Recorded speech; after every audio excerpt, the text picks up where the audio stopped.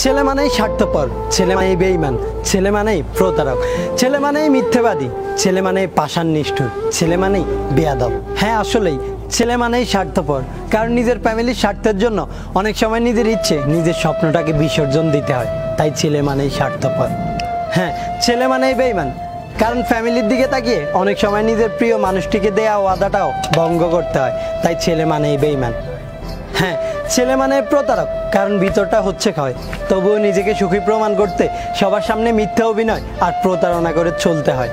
তাই ছেলে মানে প্রতারক। আসলেই ছেলে মানেই মিথ্যেবাদী, কারণ খারাপ থাকলেও তাকে মুচকি হেসে বলতে হয়, এই তো আছি বেশ। হ্যাঁ ছেলে মানে পাষাণ নিষ্ঠুর আর নির্দয়, কেননা হাজার কষ্ট বুকে থাকলেও সেটা প্রকাশ করার নেই কোনো কারণ, যেহেতু তাদের কান্না করাটাই বারণ। তাই ছেলে মানে পাষাণ নিষ্ঠুর আর নির্দয়। আসলেই, ছেলে মানেই বেয়াদব। কারণ নিজের ফ্যামিলির আত্মসম্মানের প্রশ্নটা যখন সামনে এসে দাঁড়ায়, তখন সবচাইতে শান্ত, ভদ্র ছেলেটাও দুনিয়ার সবচাইতে বড় বেয়াদব হতে বাধ্য হয়।